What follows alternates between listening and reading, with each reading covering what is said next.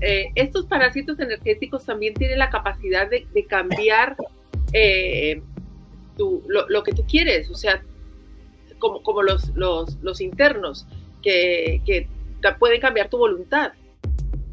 Manipularla, distorsionarla, alterarla, no de una manera directa, pero sí indirecta. Es decir, lo mismo, es una onda, como si fuera una onda de radio, parecía que se superpone a tu pensamiento. A ver, tú siempre has dicho que nos parasitan por las grietas emocionales, ¿no? Siempre es justo ahí donde entran. Pues si estamos con pues, comida tóxica, relaciones tóxicas, ambientes, todo, pues todo el ambiente que tenemos ahora, ¿no? Y decimos, ay, es que estoy por las antenas, por no sé qué, he caído, ¿no? Te parasitan por ahí y te da bajón. Entonces yo digo, te parasitan por todo eso, porque tú has dejado la grieta en eso, o te pasa eso porque ya te han parasitado. Es antes el huevo la gallina. Primero es la grieta. Sí. Primero es responsabilidad tuya. Evidentemente que hay factores externos que facilitan que se abra esa grieta. O sea, si tienes eh, contaminación electromagnética, shocks emocionales, problemas con los de fuera, porque muchas veces la, parasitación no te viene directamente. Se parasita a la gente más vulnerable de tu entorno y esos son los que te violentan y entonces tú ya pierdes los nervios y ahí ya entran. O sea, normalmente empieza de manera indirecta. Si tu mm. sistema está razonablemente blindado, tú llegas, vas tranquilo por la vida y demás, entras en un atasco de tráfico y no te preocupes que ya te van a tocar las narices por aquí y por allá. La cuestión, la, el mejor blindaje contra la parasitación, aunque no lo parezca, es vivir las emociones al máximo. Lo que más parasitación genera es la disociación. Porque cuando tú tienes una emoción fuerte, tu sistema energético, ¿qué hace? Lo primero que quieres es quitártela rápido de encima. Al quitártela rápido es cuando la expulsas hacia afuera y eso es lo que el parásito va absorbiendo. Entonces, ¿qué hace? Te sigue apretando por allí porque sabe que tú intentas ignorar esa emoción lo más rápido posible, porque te molesta, te hace daño. Entonces digo, vale, pues por ese agujero aquí barra libre. Este se cabrea, este se entristece, este se indigna, este tal. Entonces, como es una emoción que tú no puedes sostener porque es demasiado grande, te presiona demasiado, la expulsas. Y es ahí cuando te está chupando. Es como si tú abres una herida y empiezas a brotar sangre y no para de salir, no para de salir, no para de salir. Pues claro, tienes a todos con la pajita succionando. Cuando tú dices, no, esta emoción es mía, aunque sea tóxica, me la como, me la aguanto, la proceso, la digiero y me la como yo. Y cuando te la digieres y la comes tú, ya no te pueden parasitar un carajo. ¿Por qué? Porque esa emoción es tuya. No la quiero regalar. Ellos no pueden entrar a lo bestia y succionándola, sino que aprovechan que tú la estás desparramando, que no puedes ni con ella. Y eso es lo que produce verdaderamente la parasitación. Qué bueno. Eh, Robert, perdona, yo tenía una, una pregunta sobre esto porque hay parásitos energéticos y también parásitos internos, ¿no? ¿Cuál es la diferencia? O sea, ¿cómo, cómo entran los uno? Bueno, los internos igual es, es más fácil, pero, pero ¿cómo? Pero cómo los, los energéticos, cómo se pegan o cómo, o cómo, o cómo te parasitan. Si vemos nuestro campo áurico, nuestro campo energético, vemos que están merodeando, están cerca nuestro, no están dentro, están cerca. Y entonces lo mismo, los agujeros energéticos por los cuales expulsamos el excedente de energía emocional que no podemos procesar internamente, eso es lo que ellos absorben. Se quedan con nuestras sobras. Entonces, ¿qué ocurre? Que si tú tiendes a tener sobras y excedentes emocionales, ellos te van molestando. Ahí la parte de parasitación importante es cómo bombardean tu campo mental y al bombardear tu campo mental, al crear unas ondas de distorsión que son incompatibles con las tuyas, tú generas unas emociones de estrés, unas emociones muy fuertes que no puedes habitar en ti mismo.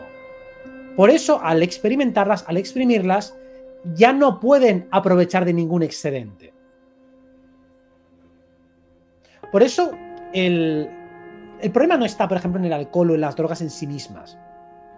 El problema de la parasitación con las drogas es que uno se disocia.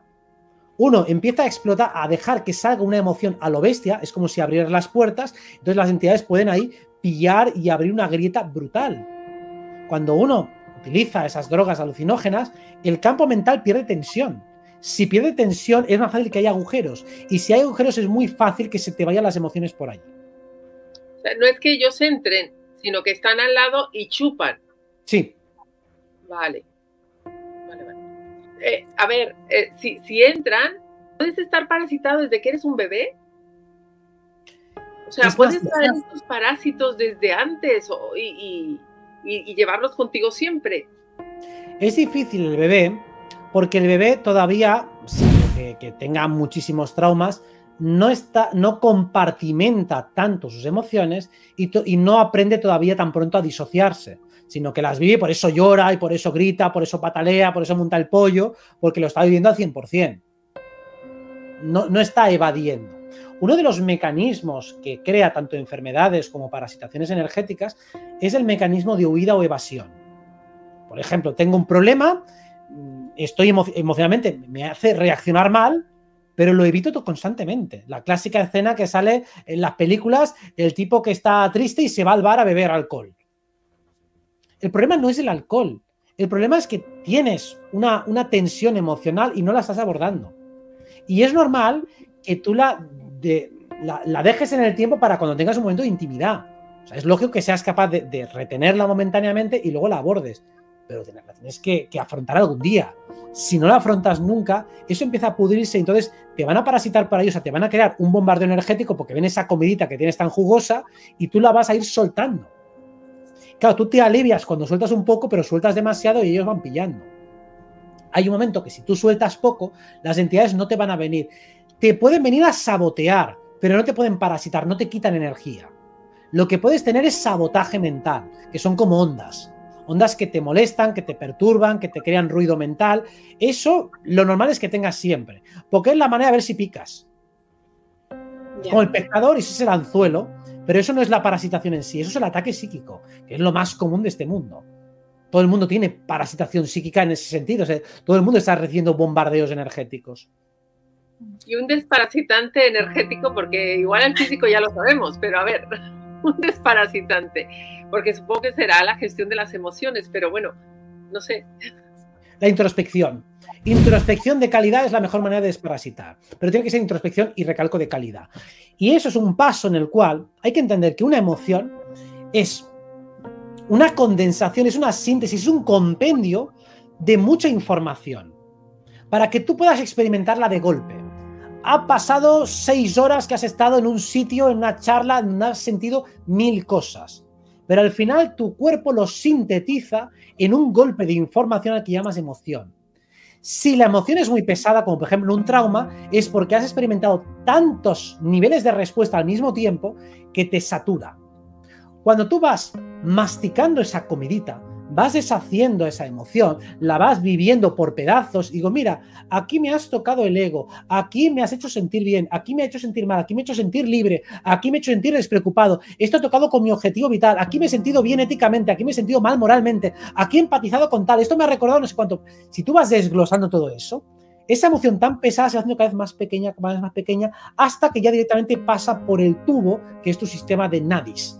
Cuando pasa por tu anatomía energética, por aquellos tubos, como si fuera una vena en la que tiene que pasar la energía y circular, cuando es lo suficientemente pequeña, eso ya es digerible.